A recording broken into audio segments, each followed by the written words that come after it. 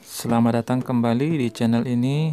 Kali ini ada sebuah mesin cuci merek Sharp Aqua Magic. Satu mesin cuci ini memiliki dua tabung, satu untuk mencuci dan satu untuk pengering. Eh, kendala pada mesin cuci ini adalah bagian pengeringnya dan ini adalah proses penggantian dinamo mesin eh, pengeringnya atau dinamo pengering atau spin motor ini adalah posisi baut untuk pembuka dari samping belakang dan juga di bagian bawah ada dua. Nah di posisi lubang ini ada dua tempat untuk membuka bautnya. Langsung saja kita akan melihat hasilnya. Nah yang di sebelah kiri ini adalah mesin untuk mencuci. Ini adalah dinamo untuk mencuci yang sebelah sini dinamonya bersama dengan asnya seperti ini. Dan yang sebelah atas itu adalah uh, tabungnya. Dan yang sebelahnya adalah tabung untuk pengering. Ini adalah dinamonya. Kondisinya sudah sangat berkarat atau korosif. Kita akan langsung melakukan penggantian untuk dinamonya. Ini dinamo yang baru. Pastikan posisi labelnya ini mengarah ke belakang ke arah jalur kabel dan dipasang sesuai dengan posisi semula. Untuk perkabelannya agar tidak lupa pada saat pemotongan kita sisakan eh, kabelnya sehingga warnanya nanti sama. Jika warnanya tidak sama dan untuk mengecek eh, secara manual bagaimana dinamo ini berputar silahkan dicek di video yang sebelumnya untuk mengecek secara manual dinamo mesin cuci bagian pengeringnya. Dan jangan lupa bagi yang belum subscribe silahkan subscribe dan tinggalkan komentar untuk kita bisa diskusi pada channel ini. Proses pemasangan baut pada ketiga sisi dari dinamo ini tidaklah sulit dan selanjutnya kita akan menyambung perkabelan dari power untuk dinamo pengering ini. Pastikan urutan dari kabelnya sudah benar sehingga tidak terjadi kesalahan. Nah satu kabel dengan kabel yang lainnya tidak boleh bersentuhan sehingga tidak terjadi korslet untuk hasil yang lebih rapi kita pasang head string setelah kabelnya disatukan disambung dan dipanaskan tentunya headstringnya nah selain itu juga nanti kita akan tambahkan untuk lebih uh, hasil yang lebih bagus kita akan tambahkan juga isolasi.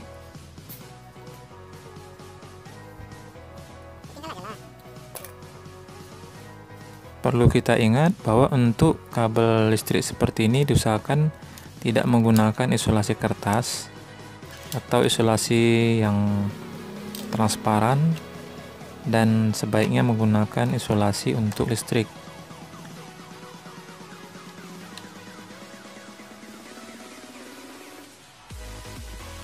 Proses penyambungan dari kabel untuk power dinamo pengering mesin cuci ini dapat dikerjakan atau jika kita takut lupa bisa juga kita menulis atau menggambarkannya di buku.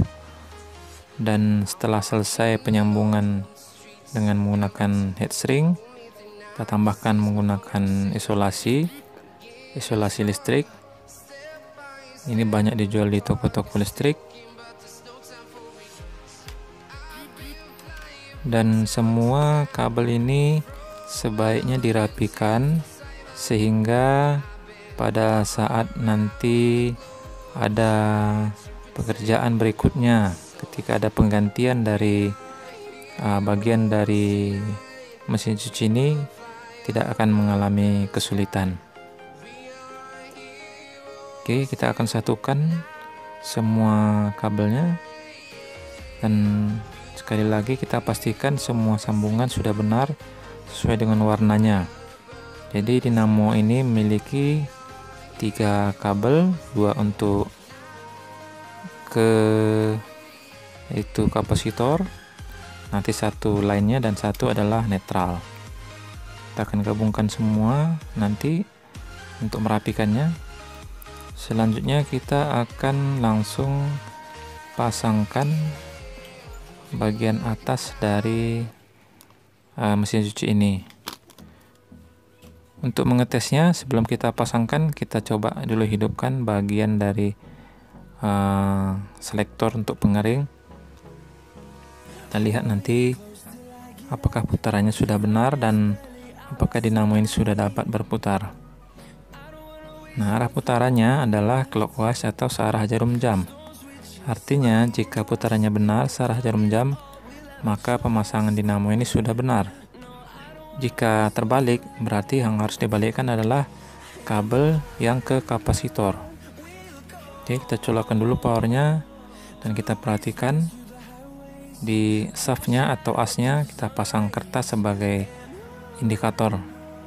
Nah sudah berputar ke arah jarum jam berarti pemasangan sudah benar sekali lagi ini adalah posisi selektornya.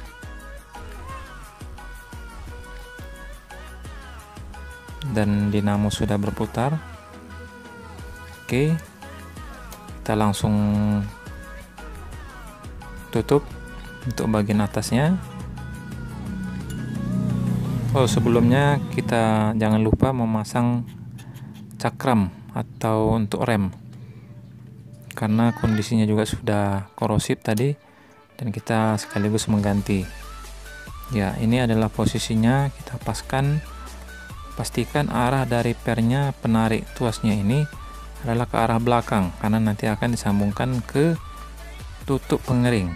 Jadi ketika tutup pengering itu dibuka maka cakram ini akan uh, menjepit asnya atau flywheel dari dinamo pengering ini sehingga dinamonya akan berhenti.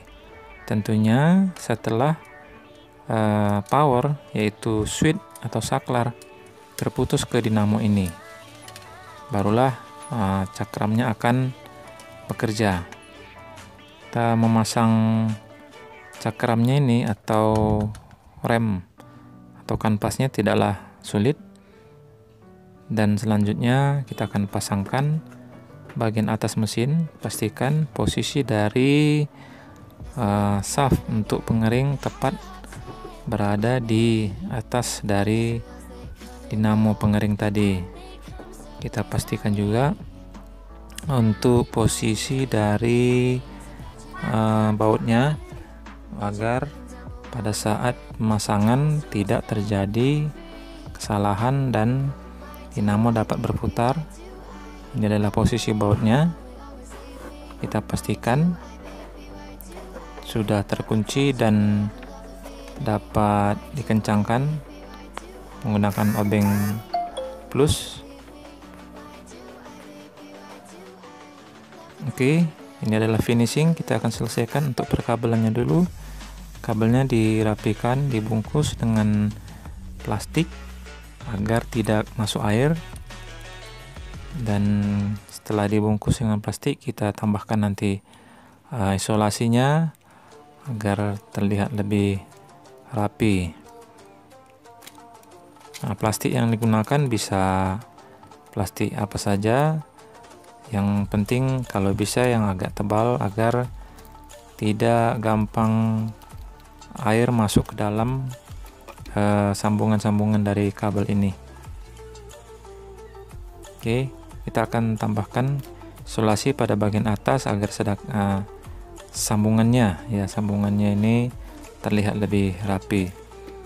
Oke setelah kita pasang semuanya pastikan tidak ada yang tertinggal untuk pemasangan bagian-bagian yang telah kita buka sebelumnya. Barulah kita akan memasang tutup bagian belakang dan tentunya memasang baut pada semua bagian yang telah kita buka tadi.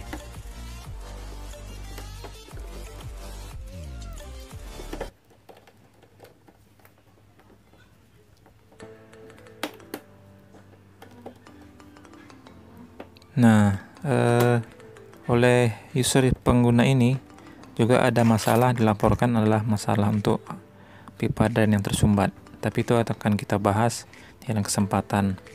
Sekarang saatnya uji coba. Untuk bagian mesin pencuci terbaca 0,8 ampere. Ini sekali lagi tanpa beban.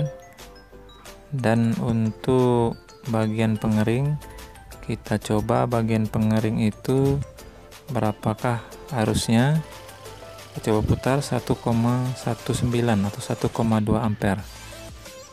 Oke demikian video singkat ini. Jangan lupa subscribe. Terima kasih dan sampai jumpa di video selanjutnya